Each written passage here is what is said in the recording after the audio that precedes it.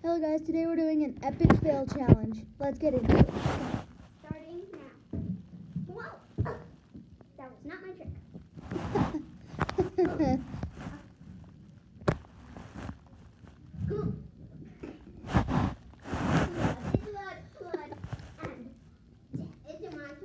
Yeah. Next up we have Finley Buttsmith. Last person was Lucy Butt Smith. okay, that's not my real last name. It actually is your real last name. Wait, no, okay, wait, no. Yes, it is. Go. go. You're Professor Butt Smith.